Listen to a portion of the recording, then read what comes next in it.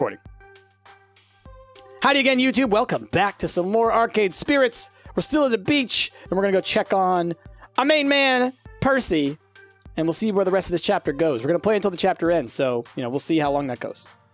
Okay. Teo and Percy are playing Carney games. Juniper's talking with her Iris, it seems. Let's go, Teo and Percy. A number of little Carney style games have been set up along the beach, independent of the boardwalk arcades. Ring tosses, squirt guns, things like that. Oh my gosh. I'm just gonna let you guys sit here with this for a second. Are you, are you enjoying this? Good. I hope you enjoy it. Okay, let's return. Percy promised everyone he'd keep it low key today as he recovers from his heart tremor. Tossing a few rings is definitely low key. And it looks like even though he's keen to go surfing, Teo's keeping Percy company. But judging from the way those rings are just sort of bouncing off the bottles instead of landing on them, the games are not going well. I don't get it. I'm usually much more coordinated than this. Hmm, don't think it's a matter of coordination, Teo. More a question of, well, let's say, optimization. But Percy's Ring goes plink off a bottle as well.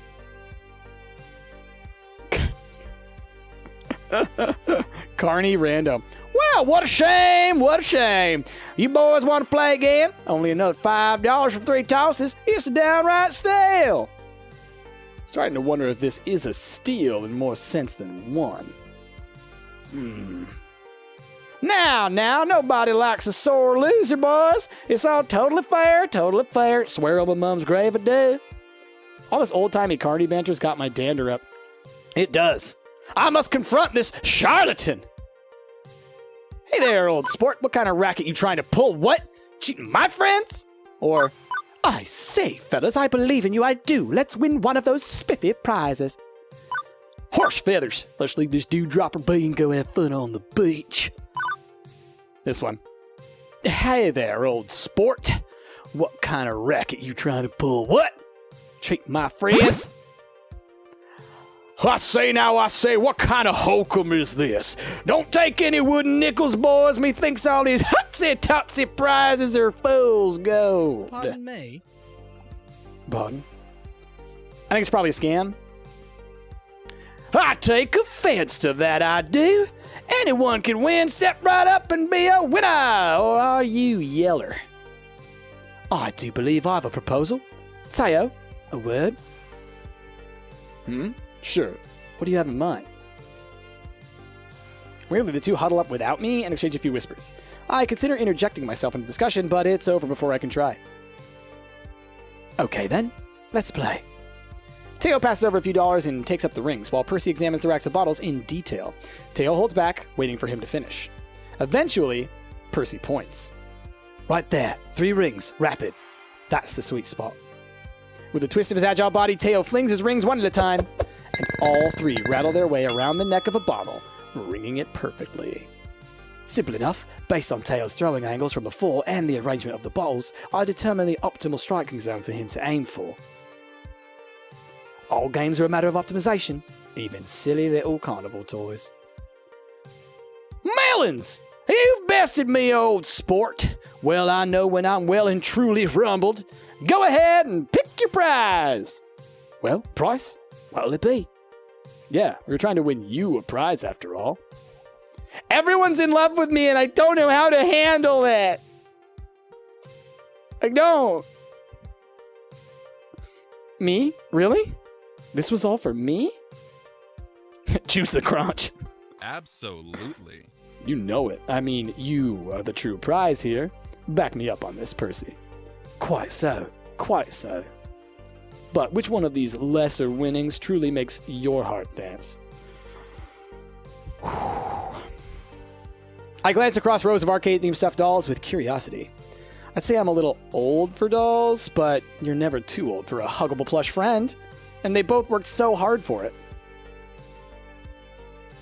I'd like that adorable Mr. Movie Magic plushie, that swinging dolly that plays music. I guess I'll just have a Cubert.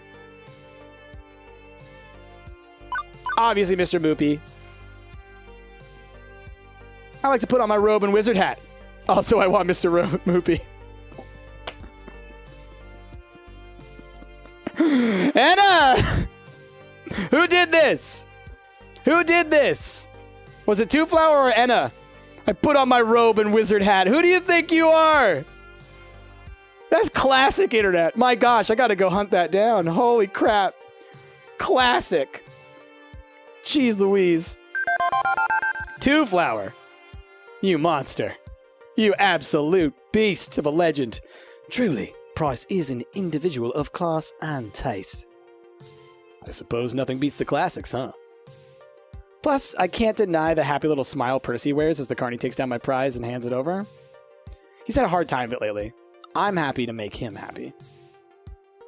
Okay, okay, now go away, boys, you bother me.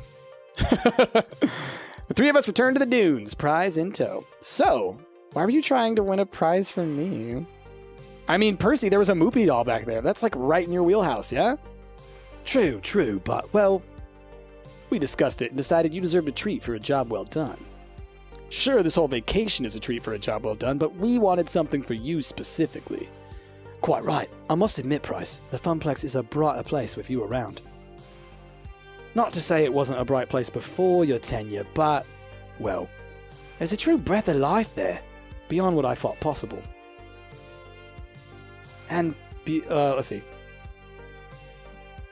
And beyond just the hard work you do, the way you've brought us all together, well, a mere plush toy isn't really proper reward, but it'll have to suffice.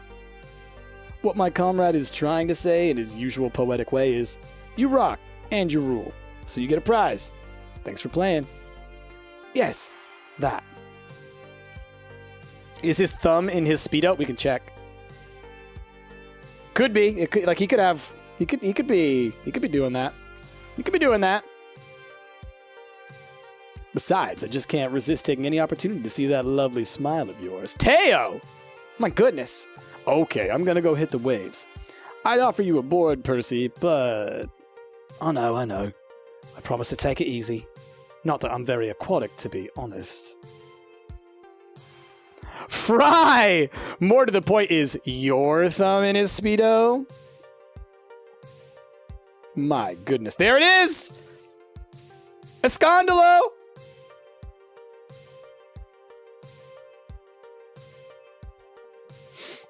But it's good time to spend, or it's good to spend time with you, considering you're usually we're on the opposite ends of the arcade. You too. Well, wow. I didn't realize just how much I meant to them. I'm only a floor attender, an event manager, right? Jazzy, oh my, I just walked into a banana hammock time. Yup. Things got real spicy on the beach episode, Jazz. But seeing everybody come together for this beach blanket bingo we wrangled up, it's the bee's knees. It is. Speaking of bees, the noon sun's high in the sky, and honestly, it's getting super hot out here. Like heat exhaustion levels of hot. Well, this would be a good time to migrate towards the boardwalk. It seems there's one more thing in store for our little group. Alas, the queen of the beach is exhausted from being too awesome for words and is seriously considering hanging up this bikini for a bit. I don't think this is a nude beach. Oh, if only. But seriously, I'd love to go hit the boardwalk for a bit. But Naomi's got some kind of surprise lined up for us over yonder. Oh, little Miss Demi, you put out a purple banana. I always love those purple bananas. Those are great. Really? Okay. Uh, be there in a minute. I wonder what this is all about.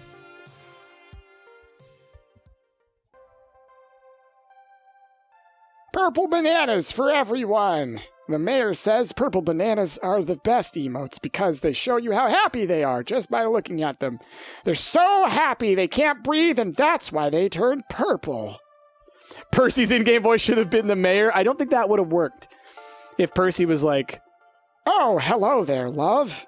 I'm a I'm a charming British man, and I came uh, to to be the best at Moopy. I'm the Moopy boy. That's how it works. Soon enough, the entire group is gathered. The number of shade throwing parasols has multiplied to four. Too plenty of cool respite for everyone. Also new, a large cloth wrap bundle in the center of the group. Gather round, gather round. It's lunchtime! And judging from the rumbling in my stomach, it's right on time. The bundle is unwrapped, revealing a series of simple wooden lunchboxes in a traditional Japanese style. Each one's been painted a different color. Aw, cute! As a way of saying thanks for all your hard work and your support, please enjoy these boxed lunches, courtesy of the Funplex. And me. I made them. An authentic Naomi brand bento? Uh, sign me up. I reach for a box, and she smacks my hand away. No. Not yet, Price. I made these special like. Everybody has a personalized lunch filled with their favorite things. Gavin, if you'd be kind enough to distribute them, names are written on the lids. Sure enough, on second glance, I can see the names and even little cartoon doodles representing each person.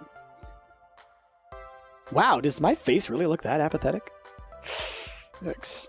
Okay, I'll start handing them out. Gavin, you first. Let's see. Impressive. Huh, plain yogurt, celery sticks, and some rice? You know me quite well. Boring and nutritional. I colored a bit outside the lines on this one. Rather than sticking to a traditional bento style, enjoy. Oh my gosh. Oh my gosh, sushi with soup with some tempura veggies. Oh, and a side of miso soup. I love nothing more than a traditional bento box lunch. And I love mo- nothing more than making them. Huh. Fish and chips, of course, with a little Union Jack on a toothpick. And you made a moopy maze out of the chips, too. Oh, it's not too stereotypical, is it? Quite good. I haven't found a proper chip shop stateside, so I'll take it. A nice little taste of home. Fantastic. Oh, yeah! A big juicy cheeseburger and french fries. My mouth is watering just looking at it. Yum! And it got lots of pink in it, just how you like it. So pink I can hear it moo. This is perfect! Pita bread and hummus. Love it. It's a great meal that fills the belly and gives you ton of energy. Nat, what? I didn't what? I didn't do what? What? And we have to keep your tank at full. A tired Teo is not a true Teo. Oh, how marvelous. Oh my, this is lovely. Little finger sandwiches, some tea, and even a cupcake. Thank you, Naomi dear. It's very thoughtful. Aw, thanks, Miss Francine. Family channel. Nat, what? Look, sometimes things get a little PG 13 around here, okay?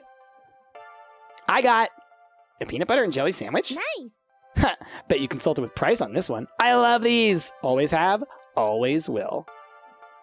Actually, I just checked your Instagram. I did an analysis of your most commonly blogged food and can't talk, busy eating.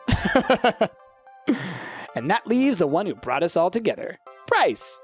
For you, I made pizza bagels! Yay! Kidding, it's actually similar to the bento I gave you the day you started at the Funplex. A little reminder of how this all started. Oh, oh, well, thank you. Pizza facts! speech! Speech! What? Yeah. You should make a speech before we all dig in. I mean, you're the reason we're here. I am.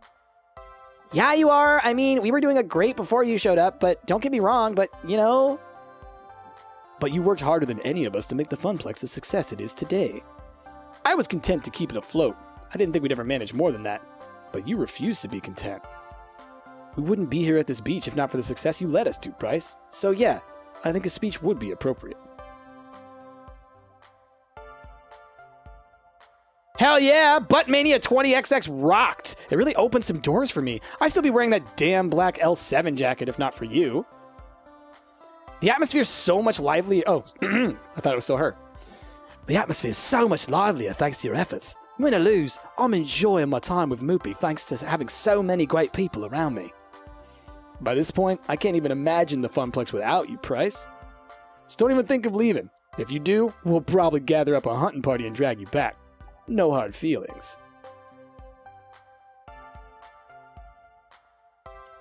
And speaking as the one Price comes home to every night, I gotta say, they're doing dandy compared to before. So, three cheers for the Funplex! Three cheers indeed! Go ahead, Price, you've earned the right for a speech. I'm just the silly old lady who started it. You made this happen. Wow. Uh, seriously. Wow. Um, well, I've made big speeches before, like the one at Buttmania 20XX, even if this feels bigger. Way bigger. Okay, here goes. It can't be milk toast for this toast. It's big feelings or nothing. The Funplex rules. It's exactly what I needed in my life. Thank you all. Being here with you has helped me through hard times in my life. Let's get hype, bros. I gotta be honest, life sucked and sucked bad before I found you wacky people. Juniper knows what I'm talking about. My life had become a series of unfortunate events. And then, well, I found the Funplex. Don't think I'm the reason why the Funplex rules. It ruled before I got there. All I did was help you all see it the way I see it. Together, we make one kick ass arcade juggernaut. And I'm looking forward to seeing where the beast goes next. Woohoo! Go Price! Go Funplex! Go us! Okay, good. On a roll. Let's see what to say next. Oh, that's so cute! This one, absolutely. Long ago, Flotsam Beach was a home away from home for my family. We'd rent a house on the dunes and just relax for a solid week, play board games, read books, go out and have a swim, or cruise the boardwalk arcades. It's a place that can be anything you need it to be. Quiet solace, sure. Loud and exciting fun, absolutely. I can't think of a better place for us to celebrate what we've accomplished together. Even if we're only here a day, we'll make the most of it. Indeed, fine times with fine folk in a fine place. It's just a ticket. I propose we return here every year, if our good fortunes continue. Now to bring it on home. Okay, let's kick some ass. Okay, okay. I've talked your ears off. We've got half a day left and a lot of ass to kick, so let's eat up and get back to the fun! Heckin' yeah! This is so cool! Going to Flotsam with you, Price, and all your great friends, and this great food, and it's also great! Let's eat, everyone! Not let's eat everyone, but let's eat, comma, everyone! This is the moment. One perfect moment with all of us together, laughing and talking and eating and having the best time in the world. Maybe things will change after tonight when Iris's plan to find me romance comes together. Maybe this is the high watermark. Maybe. But no matter what happens, I'll always have this one perfect moment.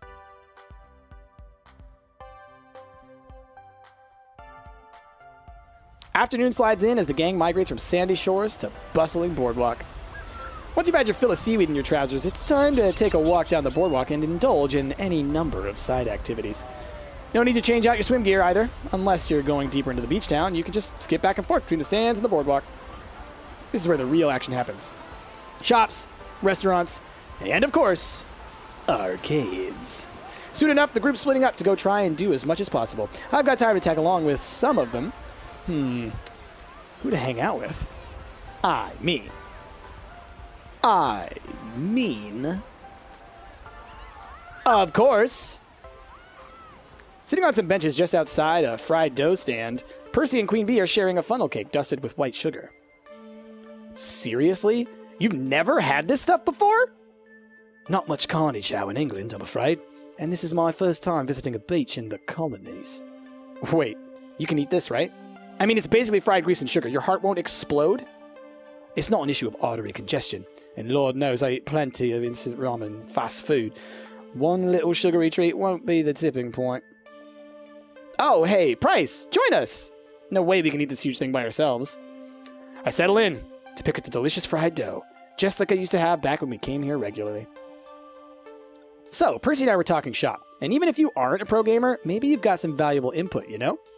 See, our Moopy Holic buddy here doesn't believe in being a full time professional gamer. Don't think so. It's not that I don't believe in it, I just don't see it as a stable occupation for a young person to undertake. If you're entirely reliant on the wavering loyalty of corporate sponsors and streaming subscribers, alongside any prize money you may or may not be winning, well, I suppose I'm just too risk averse to walk that path. I prefer a sound investment. Whereas I love risk. No risk, no reward. Yeah, at any moment it could all come crashing down and I end up living in my parents' basement again. But I love to fight for my future. Just like Price. They were an unemployed bum before finding the Funplex, so nowhere to go but up. Hey now. It's not like I was living under a bridge. Opportunity knocked, and I answered. I didn't actually plan any of this. Um, yeah. Opportunity knocked, and I answered. Opportunity for work presented itself. I took it. It's a simple equation, really. Job's a job. Funplex is a fun job, but it's still a job. Right, but it's also a risky one. That's what I'm getting at. It's gainful employment in the end, but the only reason you aren't still eating pizza bagels is because you voluntarily took risks and made them pay for you. I'm still eating pizza bagels. I'm not saying my path's for everyone, abandoning the safer road in favor of the wild ride. It takes a certain mindset to make that work. But I promise you that those of us willing to make that leap are having a more rewarding life as a result. Satisfying, not rewarding. Being a school teacher is satisfying, but sadly, society does not reward it its due.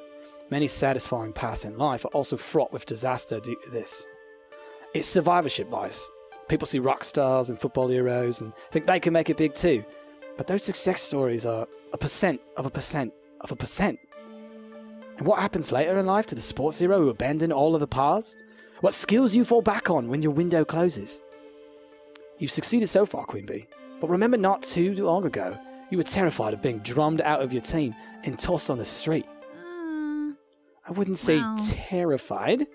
It's more like a mild reluctance at best. The real Two Flower, indeed, the real.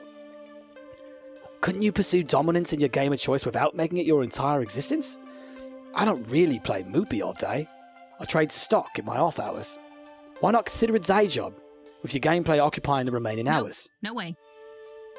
No how. Fist of Discomfort takes absolute dedication. I can't be at the top of my game at the top of the game if I'm also flipping burgers or filing paperwork. Percy, competitive level play requires intensive training. You can't get around the time investment, but you can make it pay double. That's where streaming comes in. Whenever I'm training, I'm streaming. Subs and donations make me money while my skills go up, up, up. It's win win. I suppose I can see the need for time investment, yes, but it's not like streaming revenues are stable either. Hmm. Perhaps price can help settle this question. What do you think? Is it better to wholly devote your life to a risky proposition in search of happiness, or to hedge your bets and find balance? Uh. Well. As someone who was in graduate school and then decided to not do that and then be a professional video game player all the time, I think I can speak to this one. Totally worth it. Let's do it. I think Queen Bee's right. If you want to really devote yourself to something, no matter the risk, you have to go all in. Percy, you're still young, you know? You've got time to do something wild and crazy. Make it happen. If I had time, I suppose. Aw, man. Sorry, Purpur. I didn't mean to imply. No, no, it's quite alright. Both of you. I see where you're coming from. In your situation, taking chances for a brighter future, I suppose you're braver than I. And that's admirable. Exactly! Go for the gold! With the four heavenly kings behind me and the funplex keeping me going, I'm headed for the top. Risky? Yeah, this is what I mean, or this is what I want. I choose this. Yeah, Percy, you've got time to move back to England and marry that Fry guy, whoever he is, says Fry DX. Fry? Hmm? Hmm? I think you mean chips guy. He wants he wants better chips. I don't know what you could be talking about. And we'll be right here, every step of the way. With the neglected funnel cake cooling off, the three of us focus on putting away our sugary rewards after that. We're each walking different paths, but I can't say any of us are willing to settle for anything less than our dreams in the long run.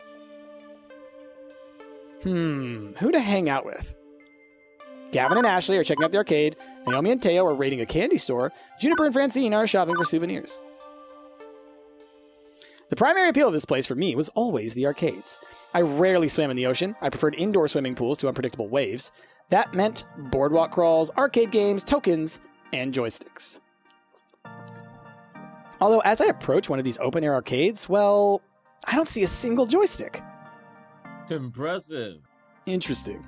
I'd hazard these arcades are 100% redemption games. I suppose it's for the best Naomi's distracted by looking for saltwater taffy. She'd hate this place. I've noticed this industry trend away from anything vaguely resembling a traditional arcade game and towards touchscreens and prize tickets. I suppose it was inevitable. If not for a strong showing for joysticks through the 80s and 90s, it would have happened sooner. A game's a game, you know? I can enjoy just about anything.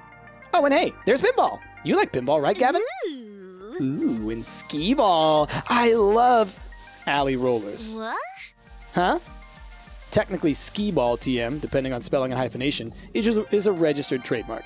These are simply alley rollers, manufactured by a different company. Sheesh. Way to suck the fun out of it.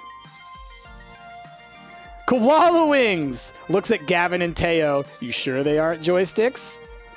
Escondalo. Ah, apologies for my innate killjoy nature. Allow me to make it up to you by actually having some fun. Is that even possible? Will your ultra cool guy exterior allow your inner softy to be exposed? If you'll let me finish, how about a sk- alley roller contest? Each of us gets five tokens to score the most points. Whoever wins buys the other ice cream. Now we're talking. Hey, Price, want to join in? Make this a three way dance? Maybe all the joysticks are gone. But I'm certainly a longtime skee ball fanatic. I'd likely clean the floor with these two. Still, I'm a skee ball wizard. I got this. You're gonna get it now. You take a shot at the skee ball TM wizard, you best not miss. That's a spirit. I can smell that victory ice cream already. And it smells like victory. Our coins rattle into the slot, tinking along the metal chute. Five tokens. Highest cumulative score wins. I suppose if it's three players, the two losers split the cost of the ice cream. Two flower. I see prices respecting into gutsy. It seems strong in this meta. I remember playing tons of alley rollers back when I was a kid, roaming up and down the boardwalks of Flotsam Beach. Like riding a bike. Those are physical skills you never really forget. My grip on the gnarly old wooden ball feels completely natural, even now. We drop in our tokens and line up our uh, line up for our first throws. It takes a few rolls for me to find my sweet spot, but eventually I'm right where I need to be in the scores, which unfortunately can't be said of my coworkers. Two Flower. Fun fact I sampled this audio off of my own skee ball machine, which is literally in my apartment. I bought one. Two Flower, that's awesome. That is awesome. When I was a kid, we had a. Um, we, as we still have, actually. It's in the house. I should go take pictures of it at some point. Um, a uh, pinball machine um, that my. Uh, was my grandmother's like it's like it's like from the 20s or 30s it's like super old maybe the 40s it's super old though um, and we eventually got it up and running so fun. So fun. I totally should have landed that one, Hundo. Rather disappointing. These machines are a bit beat up from exposure and play. I wouldn't be surprised if they're unbalanced. Moving that thing when I moved home was an adventure. Oh, I bet. I bet. Or they're rigged, like those Carney games Teo and Percy were playing earlier. But they aren't. I'm hitting my shots no problem. Hmm, I could whisper some advice to one of them. Maybe give them an edge. It's cheating, sure, but we're all getting ice cream in the end, so who cares? Psst, Ashley, here's the trick. I lean in next to Ashley and whisper her a hot tip. Aim for the 40 pointer with every throw. That way you'll always net a consistent amount of mid tier points. Oh. Instead of wildly aiming for the honeypot of 100 points, Ashley lines up for a shot right down the middle and scores a sweet throw. Price is a filthy cheater. No, Two Flower. No. Just giving tips. I didn't cheat. Soon enough, the game is over with Ashley just barely pushing past my score and Gavin far behind. What? Ashley beat me. How, what have I done? Ah, well, I gave it my best. It makes you feel better. I couldn't have won without Price's solid advice. No, you still were the one making the throws. That's skill, even if they offered suggestions. Still, if you'd like to keep things fair, we'll split the ice cream cost three ways. Everyone's a winner. Hot tips, eh? Tess! Tess Escondalo! Don't know what you could be talking about. Indeed. Most importantly, we had fun. Arcades are meant to be places where friends can gather and have fun playing with each other. Beachside or in a shopping plaza with or without joysticks. That's our goal. Let's take back a lesson today that we should always endeavor to provide fun.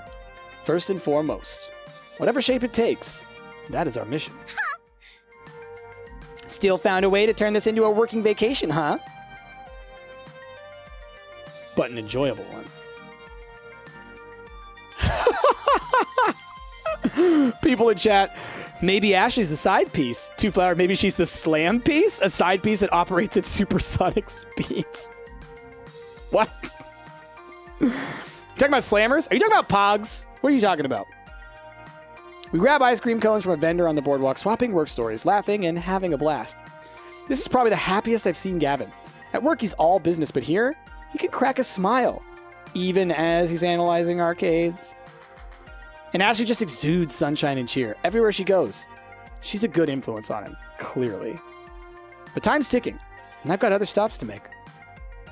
It feels good being out and about with everyone, away from the funplex, away from work. Just friends, having a great time in a place designed for great times. With our newfound success, I hope we can do this more often. Hmm, who to hang out with? Stinks Fry Dogs and Yoshi's Pizza, the only pizza within two miles. That's a good thing to have. Definitely not a game reference. Yoshi's Pizza, definitely not a game reference, is what that says. My dad thought Pogs had to deal with drugs. What?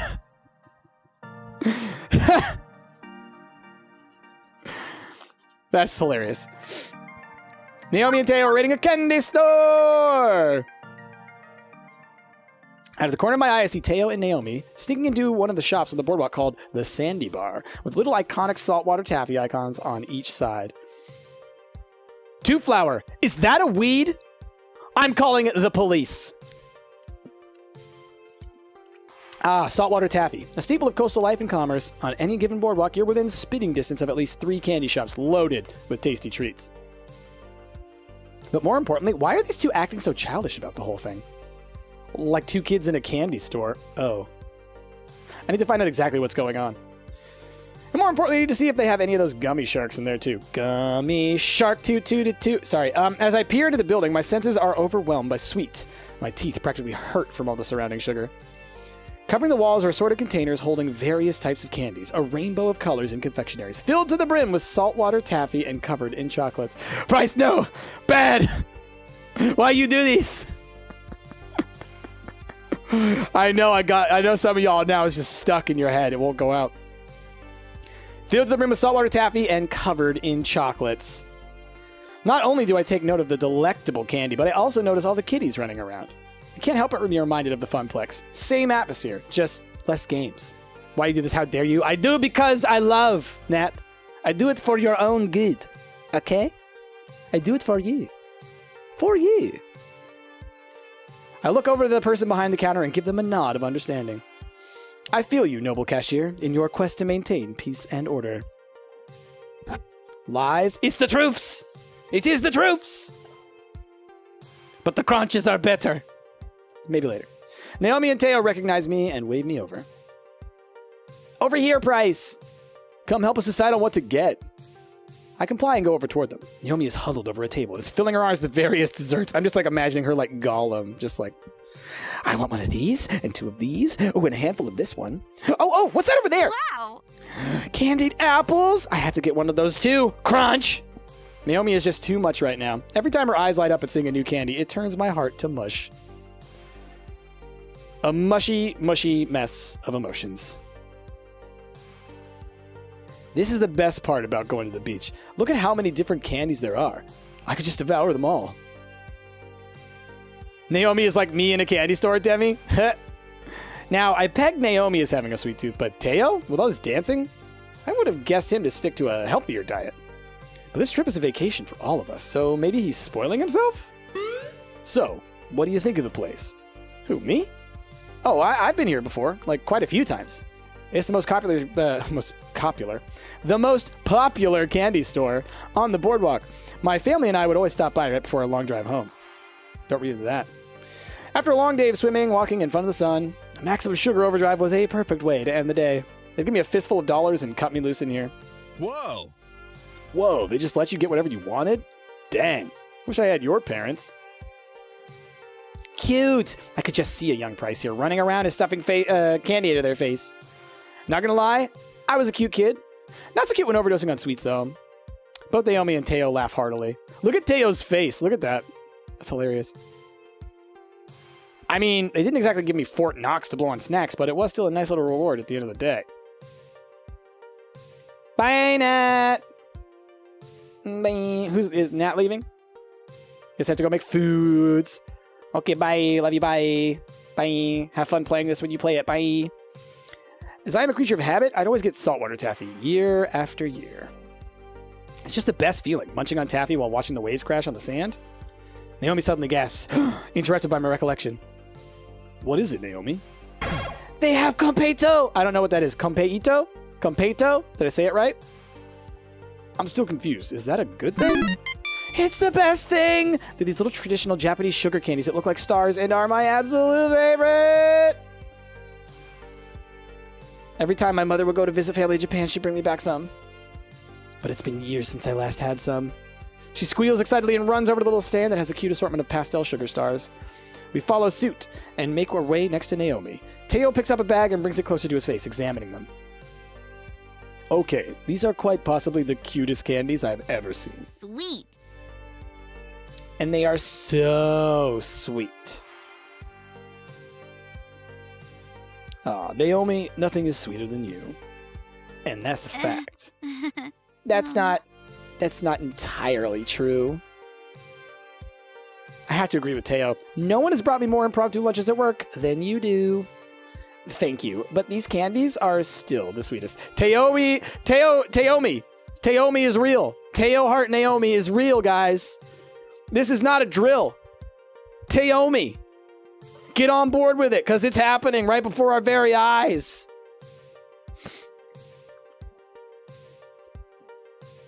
You both should taste these, by the way. I just know you'll love them as much as I do. Teo and I agree with the nod of our heads, and Naomi turns around happily with an armful of candy and treats. Like a dragon with her hoard, she heads toward the register when a kid runs smack into her. In a colorful explosion, candy spills everywhere, and Naomi falls over backward. I instinctively go in to help Naomi up, but out of the corner of my eye, I see the kid who bumped into her, swiping candies off the floor and pocketing them. Hey! It's a classic move. We see it all the time with tickets and tokens at the Funplex, and like the arcade, this is no different. It's so overused. Teo even sees it. He elbows me and points it out to my attention. This is not my store, not my job. Do I step in or let it slide? Pick up the mess or point out the thief? Hmm. I mean, screw that kid. Gutsy! Go for it! All right, let's do it. Get out of here, kid! I know it's not my job, but if some brat did that in the Funplex and I didn't notice, I would want someone to do something about it. Plus, stealing candy is the worst possible crime one can commit. Save for like murder or Grand Theft Auto or whatever. Okay, so there are a lot more awful crimes, but this one takes the cake, so to speak. Hey, kid, turn out your pockets. What do you want? I ain't doing nothing. I saw you stuff all those candies in your pockets. Look at them bulging out. You weren't tricking anyone. The kid looks like they want to say something, but by now the cashier is here too, and the kid turns out his pockets. There's a lot more in there than just what they got from the spill. With more tact than I could probably muster, the cashier tells him to kindly exit the sandy bar, and the kid complies. The cashier and I exchange knowing glances. We are one and the same. Well, after that excitement, I'm ready to relax on the beach and eat some of this candy. Me too. Me three? But I can't quite leave yet. There's still one more thing I must do. I need to get some saltwater taffy. It's a piggy family boardwalk tradition after all. Oh yeah, we can't break tradition. Although if we do, I wouldn't mind starting a new Funplex Beach tradition with you. Teo! Please, this is one important delicious decision Price has to make. And the only correct answer would be for him to choose the cotton candy ones. Cotton candy flavored taffy? Really? I wouldn't joke about something as serious as this. But it's like sickeningly sweet. Even I can't handle it. And I can handle a truckload of sweet. Well, what would you choose then? I had Squid Hat. Break tradition. It causes bad luck. Family bad luck. It's bad luck in the family. We know all about it. Buttered popcorn, obviously. Gross! Gross! Butter popcorn flavor is the worst flavor for candy. What are you doing? I like a little salty with my sweet. Teo, quit it! Making everything about something else. But but that's sacrilege.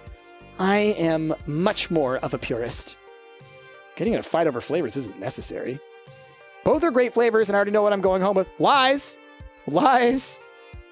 What's that price? Cotton candy, butter popcorn, grab bag.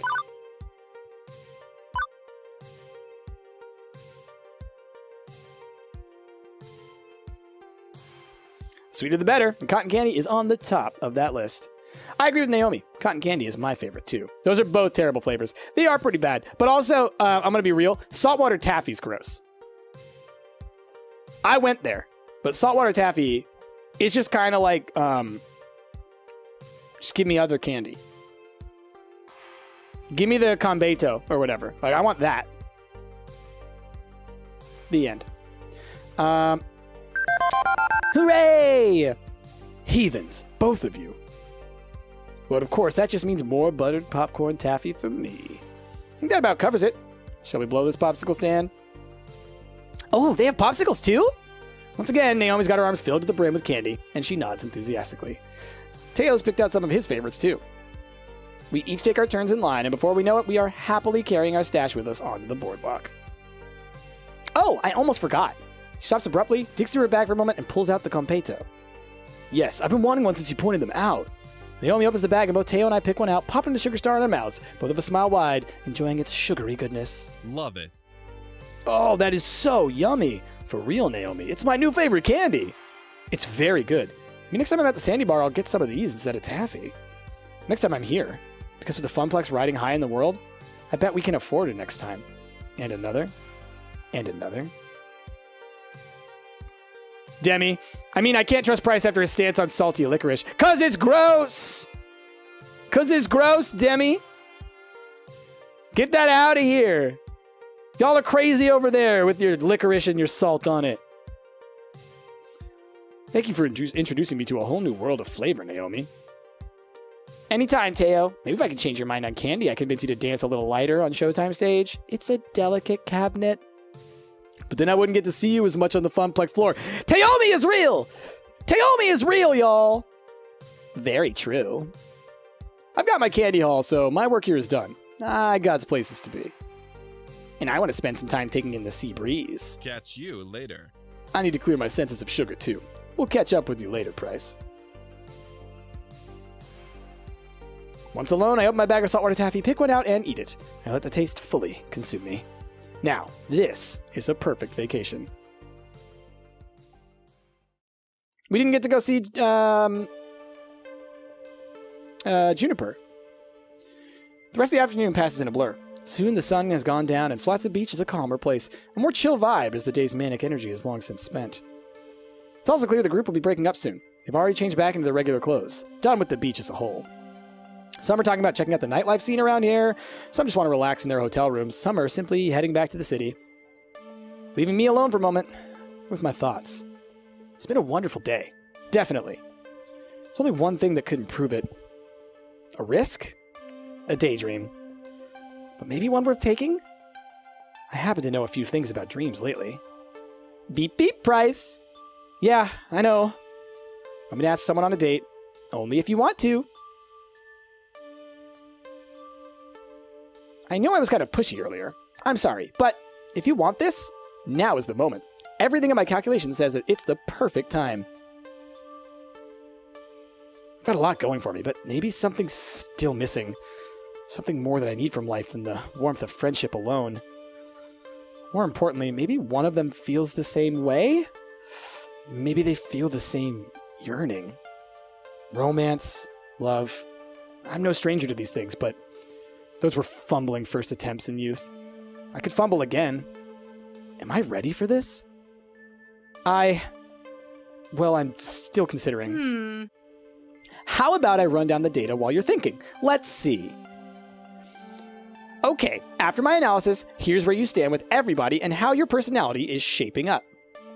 But now that I've had weeks to understand you better, I think I can adjust these values based on what I know each of them likes in a partner.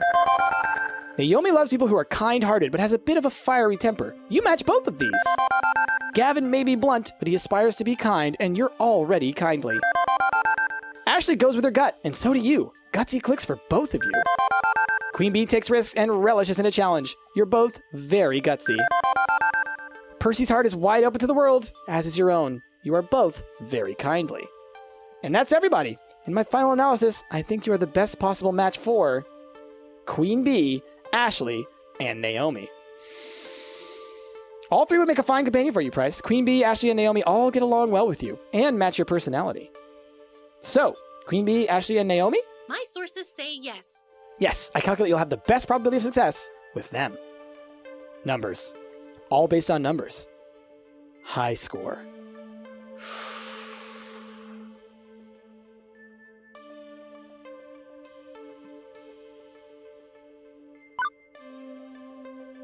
Okay, let's run with it. I've come this far, and I trust data. It's crazy, but you know what? My life is crazy. It's surfing a deep wave of crazy. All the way to the shore is crazy. So, okay. Hook me up with someone whose numbers match my numbers.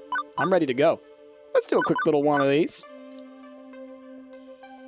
Great, but I want to make sure you understand what's really going I'm on here. Software, right? I have to see the world through numbers. I see relationships as numbers. I see your vocal tones as numbers. And I score it all. But the math is less important than the meaning. I see a number. But that number represents your free will and your heart. You chose to spend time with them. You shared good times with smiles and laughter, and sometimes even tears. This isn't like a dating website. You aren't asking a total stranger out just because the numbers match. You need to switch the causal relationship around. I need to ask for a casual relationship? Causal. As Oh. in the cause of. You aren't spending time with them because of the numbers. The numbers exist because you wanted to spend time with them. Correlation is not causation. You've been building these relationships for months. Now, you can take one to the next level. The numbers can be your guide if you let them. But follow your heart. Above all else, follow your heart. Okay. Got it. Right. So let's not limit ourselves here. Of all those who are special to you, which one do you want to share your heart with? Here it goes, y'all. Here it goes. Cliffhanger! No, I'm just kidding. I'm just kidding. oh, that would be funny though, wouldn't it? Uh, it's a big decision. But she's right. She's been watching me, listening to me, understanding me. But in the end, it's my choice. And their choice to accept my love or not. Ben, you say I wouldn't dare. You know I would. You know I'd dare. For the lulls. For the lulls, bro. But which one do I love? Which one should I approach? Come on! Come on! We all know it's been this way from day one. You think that I wouldn't go with the queen? The queen? My goodness. My goodness. Cliffhanger, says Anna. Cliffhanger! the queen! The queen! Queen Bee! Uh, just saying her name fills me with excitement. A romance with Queen Bee would be a whirlwind of passion. Her assertive nature and her sassy flair really energize me. I want to be the person who Queen Bee looks to, by her side, cheering her into victory, comforting her when she's defeated. I'm ready to sign on the dotted line for Queen Bee's contract of love.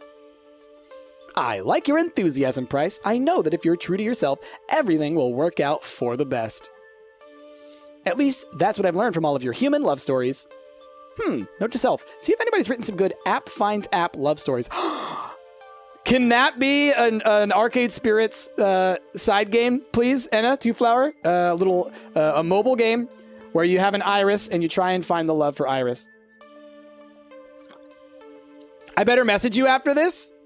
Oh snap! Thanks, Iris. I- I'm about to go. Hopefully, succeed at my own human love story. Wish me luck. Iris waves bye to me as she shuts herself off, leaving me alone with my thoughts. The thrill of getting to ask Queen Bee on a date took over, and I could feel myself starting to get nervous. She's a local and internet celeb, way out of my league. What if I'm not cool enough? Last time I checked, I was lukewarm at best on the cool scale. There is no way I'm anywhere as popular, attractive, intelligent, magnificent, perfect. And as I struggle, look her new jacket! With the thought of how unsuitable I am, the gaming goddess herself approaches me out of nowhere. With a frown, she pockets her phone, then shakes her dour mood free as she turns to face me. Hey, kid. Oh, hey, Queen Bee. What a pleasant surprise to see you here, standing next to me on the boardwalk, being all normal like. totally normal price, right here, normal dude, super normal. Yeah, that tends to happen when you and all your friends go on holiday together. Anyway, I'm getting straight to the point because I don't like beating around the bush and I'm not a fan of sappy, fluffy bull. Just blunt honesty. So, do you want to join me on a date tonight? Oh my. Yes, yes, a thousand times yes. I I instantly blush from head to toe. Here I thought I was going to have to muster up enough bravery to ask Queen Bee out, and bam, she intercepts me and asks me herself. Don't get too excited there, kid. I was gonna go out with some friends of mine who live nearby, do an evening meetup in Flotsam, but Queen Bee looks away, frowning at the Well- ground. they bailed on me. Hardcore lame ass style. Oh, cool. I'm We'd arranged second everything choice. a few days in advance, and now they aren't even returning my text. I Cool. swear, if those ladies aren't literally on fire or saving orphans from a building that is literally on fire, I'm having some harsh words with them later. Long and short of it is, nobody wants to just go out and have some fun. And I need cheering up. Pronto. Cheer me up, okay? Mission accepted. I'm sorry, Queen Bee. That really sucks. But you know what? What? Fuck 'em. There we go. No one should ever deny Queen Bee what she wants. Do they not understand how amazing she is? You don't deserve this. Fuck that. You know what? They don't deserve you. I said the word. I said the word. Wow, you're cute when you're petty and vindictive, kid.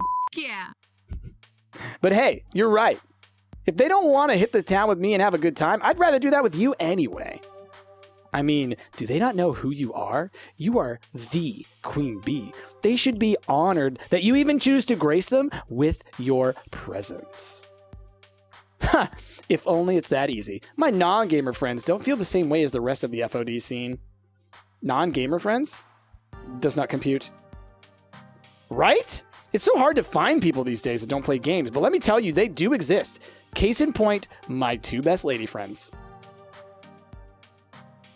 We've been friends since we were little tiny babies. Our mothers are all friends, so when we were born, we all became friends by proxy. I grew up with both of these ladies. We've shared so much together over the years. We still all go on mother daughter outings occasionally. It's complicated. But compared to them, I've always been the weird one. The loser, if you will.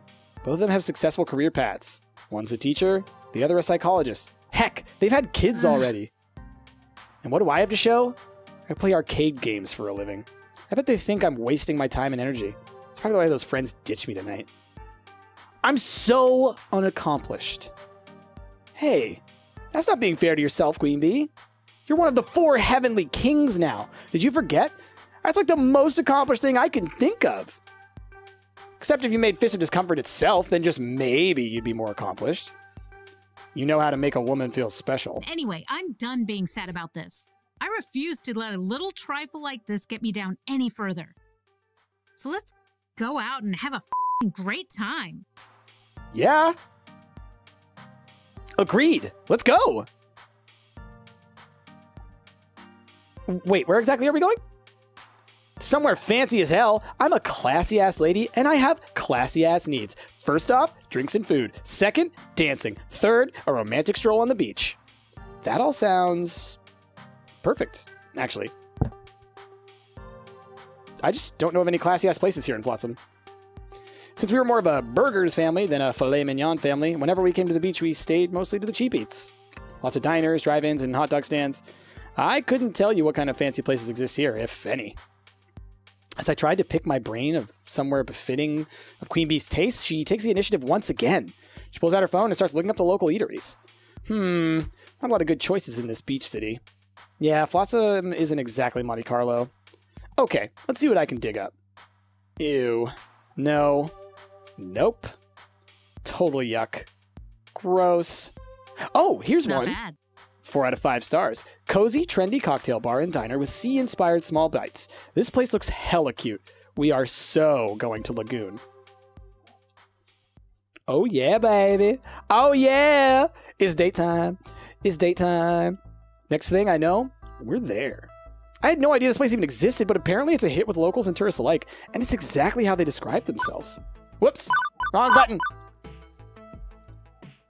The tables are illuminated by dimly lit candles, really making it intimate and adding to the cozy atmosphere. This is almost too trendy for my tastes. I really haven't been to anywhere this hip. In fact, I'm pretty sure the swankiest place I've eaten is the whole story. Even the way everyone is dressed in here is so fashion forward, retro 50s style without being hipster. Queen Bee fits right in with this bunch. She's always styled to perfection. I, on the other hand, I looked down at my hoodie and let out an exasperated sigh. Don't worry about it, kid. You look fine. It's not exactly black tie. Dark Dashing, this is out tomorrow, right? Yes, it is. Yes, indeed. Next thing we know, we're in the hive. Oh my.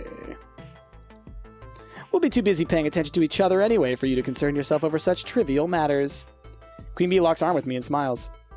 Look at us, a couple of hotties out for a night in the town.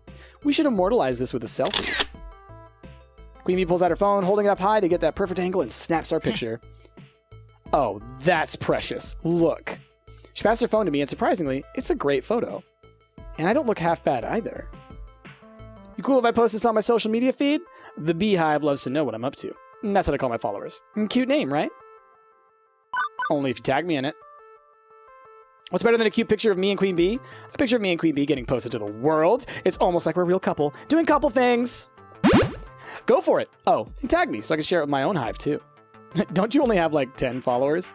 And six of them are all the regs from the Funplex? Yeah, but I really want to make sure Francine knows.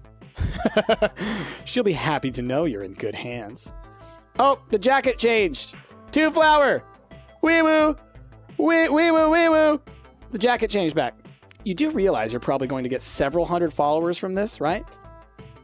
I did have some inclination that that would happen, yes, but I'm not going to worry about my sudden jump in popularity. I won't be buying a solid gold mansion or anything.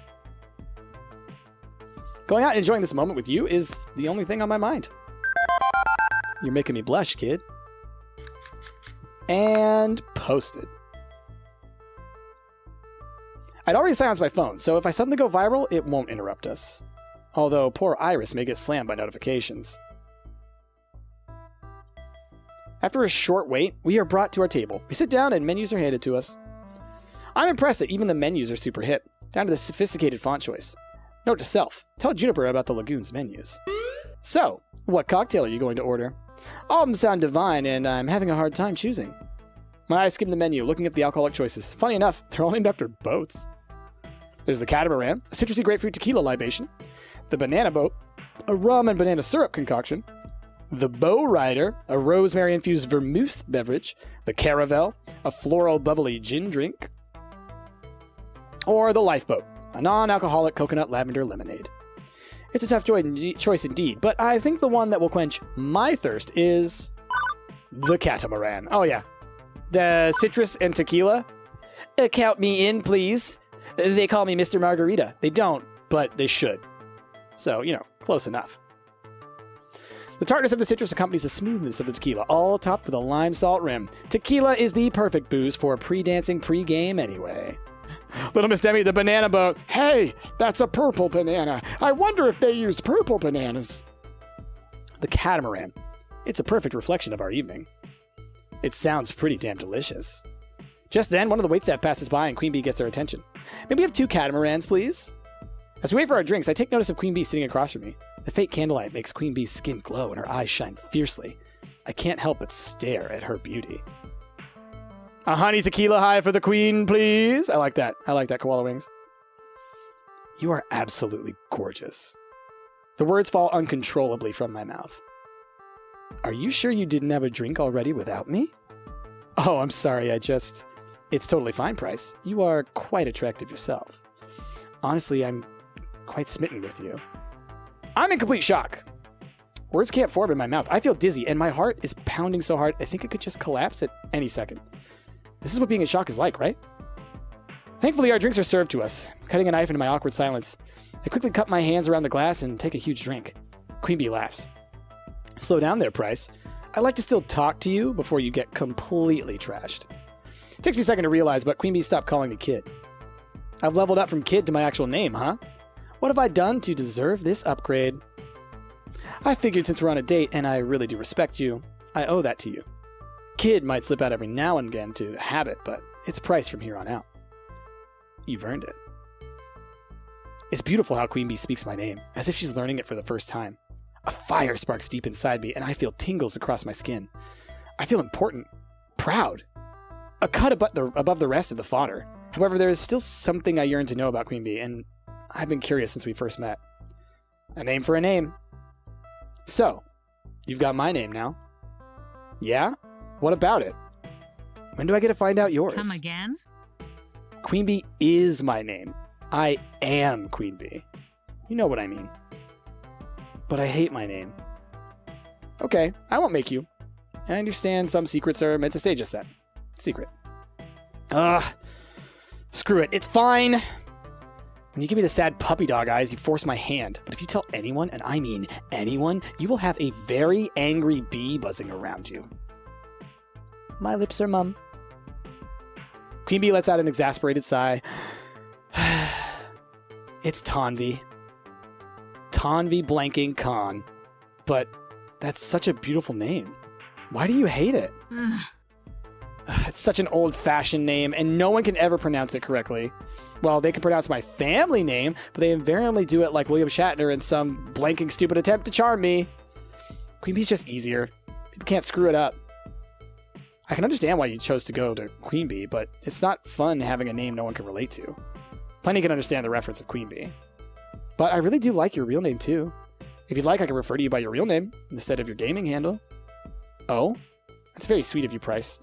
Okay. You can call me Tanvi or Queen Bee. Either way works fine by me. I'll respond to both. Both names fit her so well, but for me, one name rings true. I mean, Tanvi is a very cute name. And it is one of those things where it's like there's a certain thing in relationships where when you have a name for a person that no one else uses and it's like really intimate like that, like that's super intimate. But also, Queen Bee is the name that she chose. And also, Queen Bee is like how I learned her name. So like I think it makes sense to stick with Queen Bee because that's what like what she would prefer. You know what I mean? Queen Bee is how I've always known her, and that's what I've fallen for. It seems weird to change it now. Queen Bee. I'm gonna continue calling you Queen Bee. When you say it, I'm proud to be Queen Bee. I like it much better than when others call me by my handle. Thanks.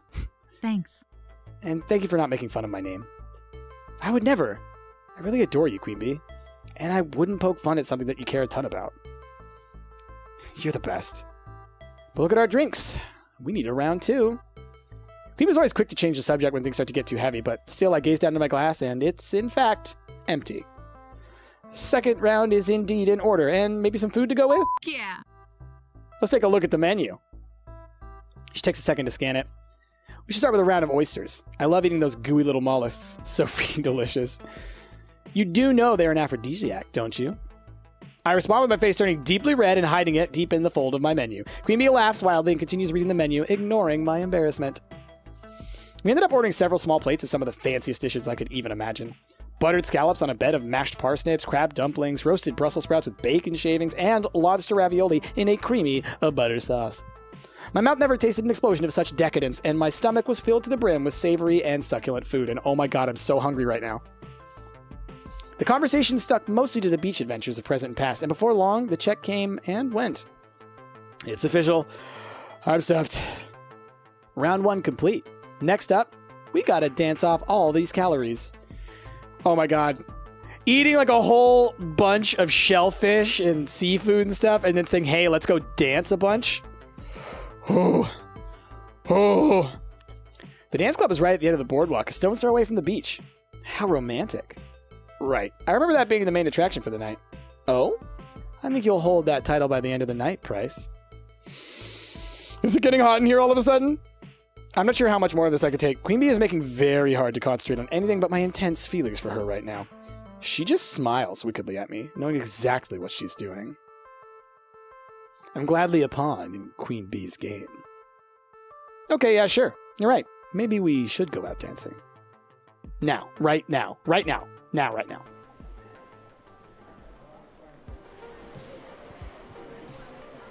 We called a taxi to get back to the boardwalk, and upon arrival at the dance hall is already bumping. People are standing around outside, roped off in a queue. Everyone's wearing their best dancing attire high heels, form fitting dresses, button up shirts, and fancy slacks. Before we go in, I can already hear the ums, ums, ums, ums of the music. Not bad. I'm actually impressed. The nightlife here in Flotsam isn't half bad. You choose a good little beach town, Price.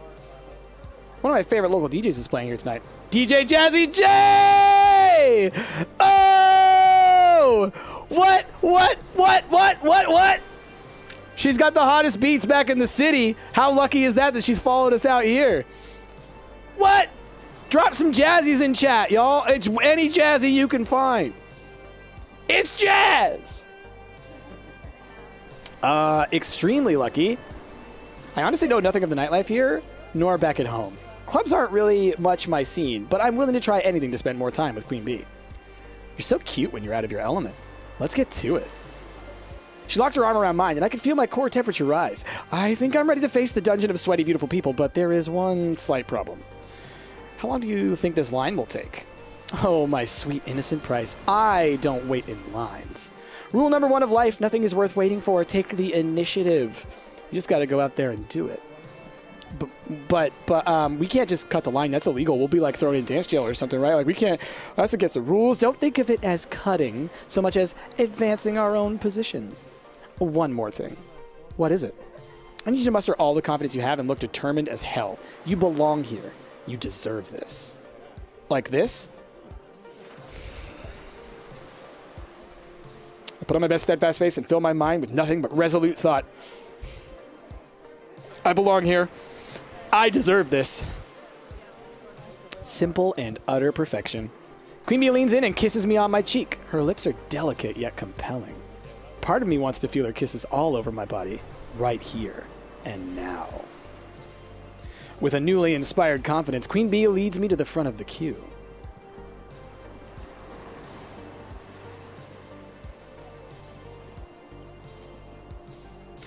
We approach the bouncer, the noble guardian of the club, the fabled checker of IDs. He lifts a hand up to us and we stop. Queen Bee simply holds out her card, smiling fiercely.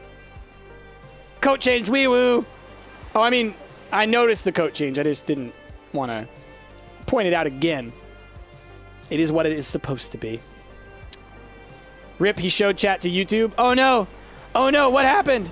Wee woo! Wee woo! Oh geez, they saw all the jazz symbols, I guess. Oh no! How could that be? Oh, it's such a problem. Oh, okay, it's fine. Queen Bee simply holds out her card, smiling fiercely. We're with jazz.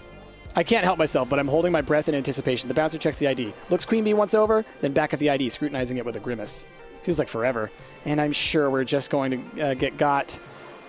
We'll be the laughing stock of the club as everyone laughs at us while we trek away, tears in our eyes. Shockingly, he gives us a gruff and waves us in. Oh, okay. Be doo be doo be doo. Indeed, koala wings. I wait until we're about the good distance inside the building before I let myself show my true emotions. I can't believe. How did we? What just? I'm shouting over the booming. "Mts." It's pretty loud in here, but I think Queen Bee can hear me. She laughs accordingly. Relax, Price. Don't ask. Just accept how awesome we are. I nod dumbfoundedly. Before we get to dancing, let's get another drink. I look over at the bar area, and there is a big crowd. All those people vying for the attention of the barkeep, but most failing. Bee pushes her way to the front of the mass of people, easily locks eyes with the bartenders. With a few motions of her hands and words, she surprisingly is headed back to me with a couple of drinks. I just got us their house cocktail. It was the easiest thing. I take the drink from her, and we find a place in the far corner of the club. It's out of the way of most of the people, and it's significantly more quiet over here. Take a sip of the cocktail. It's tasty. Not what I expected. Well, I don't actually know what I was expecting, but it's good. Queen Bee and I continue to take sips of our drinks and exchange provocative glances. We are a mess of smiles, giggles, and looking away sheepishly. The music and the crowd are still too loud for us to properly have a conversation, but we don't need words to communicate. Queen Bee smirks at me as she scoots in closer to me. She rubs her leg against my own. Delicately, she places a hand on my shoulder and leans over, talking into my ear. So, how are you holding up, Price? You don't look overtly traumatized. This is certainly one of the more exciting nights in recent history. Taking it all in, I'm feeling great. This is fantastic. I'm loving the party atmosphere and digging the tunes. The liquor is hitting me just right, and I'm ready to strut my stuff on the dance floor with Queen Bee. I'm so ready to get my dance on. Would you like to join me? You know it. But I'm waiting for the right song with the right beat to really go all out on the dance floor. As if on cue, Queen Bee crooks her head, catching the beat she's been waiting for. She jumps out of her seat, grabs a hold of my wrist, and leads me deep into the dancing crowd. People are jumping up and down, gyrating their hips, shaking one's booty. Queen Bee forces her way through several people, not even taking the time to notice us uh, squeeze through, too entranced by the music. But soon, the crowd noise falls away. My focus is entirely on Queen Bee, the beat, and the swaying of her hips. Once we make it into the inner circle of the crowd, we find a place on the floor that's not shoulder to shoulder. Feeling the electrifying energy, we dance without hesitation. I may not know all the current club moves, but I don't let that stop me. Both Queen Bee and I are laughing and smiling and moving our bodies. As a particularly sick beat drops, Queen Bee and I lock eyes. She sways closer to me, swinging her hips alluringly. She closes in the distance between us, our bodies touching, rubbing up against one another. Outstretching her arms to the sky, she twirls her arms to the beat, and I respond with bobbing my shoulders. Our eye contact doesn't break, and it's powerfully intense. I'm drawn in, and it's hard to let go. Eventually, the music stops. It's time for DJ Jazzy J to take her break. I'm sweaty and sticky and smiling from all the fun we've had. Queen Bee winks at me. Would you like to go somewhere more secluded? Shall we take this outside? I'd like that very much. Oh my, y'all. We wave goodbye and good riddance to the loud music and the party lifestyle. What greets us is the serene sounds of the ocean, the soft cry of the waves clashing atop the sand, the delicate song of the breeze as it gently nips at our skin, the silence of the stars. Queen Bee clings onto my arm and we walk along the shore. For several minutes, we say nothing, step by step, just enjoying the quietness of each other. We walk off the tipsiness from the drinks, the bebop of the club, the ankle, the, the ache in our muscles from the day. We disregard it all. In this moment, it's me and Queen Bee. I wouldn't have it any other way. Queen Bee leans gently into me and lays her head against my shoulder. Price, ever since I've known you, you've treated me with respect. Of course I respect you, Queen Bee. I mean, like, you treat me like an actual real person. So many people treat me as if I'm some celebrity and just try to woo me for their own pride. Others just blatantly troll me because I'm a woman. I just want to be treated, you know, well, like most people want to be treated. And you do, Price, so thank you. Once again, I can feel my heart quicken and my cheeks flush. The mood is perfect, and I just want to be even closer to Queen Bee. I turn to face her, taking her hands in mine, our fingers intertwine, and I look her in the eyes. You're the best, Queen Bee. Queen Bee blushes and looks away hesitantly. I mean it. You truly are a queen among the rest. She looks back at me with a wild look in her eyes and a smirk on her lips. I can read her body language, and it's contagious. No words are needed to convey our desire, as we both dive in.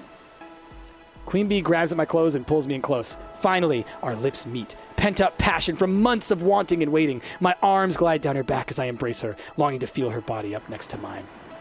Our kisses are a mix of delicate touches and forceful caresses, our lips only parting to make intense eye contact before delving right back in. Our carnality is fierce, nothing keeping us apart. I litter kisses along her collarbone as I squeeze her hips. She nips on my neck, her hands grasping desperately on my back. Each of us take turn leading the other in thirsty display, display of affection. My mind is a blur, and all I can think of this wonderful woman in front of me. It's heating up, but in a turn of events, Queen Bee slows it down with a deliciously long kiss. Our lips linger until finally she parts from me, letting a heavy sigh fall from her mouth. Can I ask you something important? Of course. Can we just stay like this? What do you mean? Like, stuck in this position forever? Sure eventually I would need to use my arm again. It helps me do things like write, cook, gaming. Queen Bee laughs slightly. I mean, metaphysically. Here in our current situation, like, we obviously are attracted to each other, but I'm not ready to jump into a typical relationship role of being partners. That's not exactly what I was expecting Queen Bee to ask. I frankly, I'm not quite sure how to take it. We can stay exactly like this. Who needs rigid uh, rules about relationships, y'all? Whatever works, works. That's what I say. If you're happy, if everyone involved is happy, you just go with it. Exactly, Demi, you just go with it. We can say it like this. I'm cool with it. Who would I be if I forced Queen Bee into a situation she wasn't ready for? I'm content just being able to have these wonderful moments to share with her. If continue what we're doing brings you happiness, and let's keep doing exactly what we're doing. Thank you, Price. Thank you so much for understanding. It's not that I don't want to be together with you. I do. I cherish you and I love you all the time we spend together. I'm just not ready for the label of being in a relationship or partner.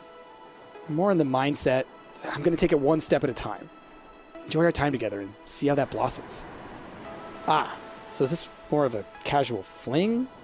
No, not at all. I'm still dedicated to you, the only person I care for. I just want to take it slowly. Have an open communication about what we're doing and not put a label on it. We have a seat by the waves to put my thoughts together.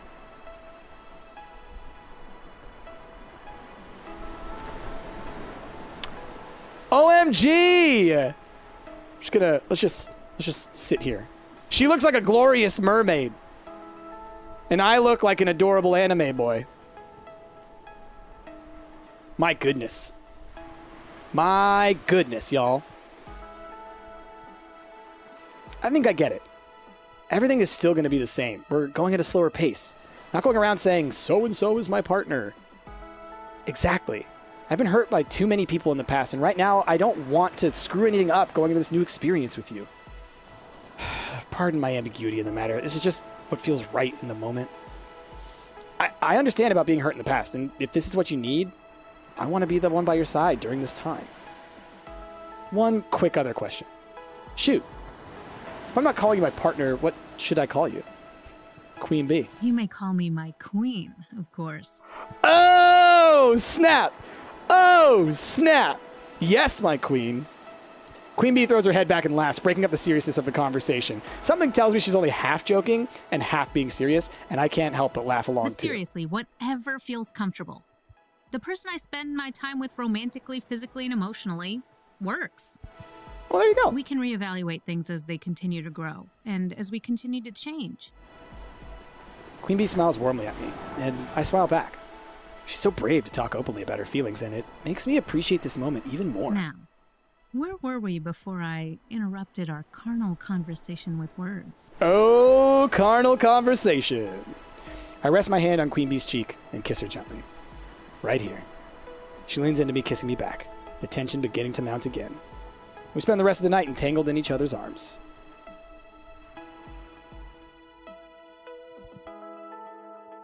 And that's how Queen Bee and I found each other. I'd called our lunchtime party the high watermark, one perfect moment in time, but I was wrong. This was it. And in the difficult weeks ahead, I'd cling to that high water mark in hopes the wave would roll my way again.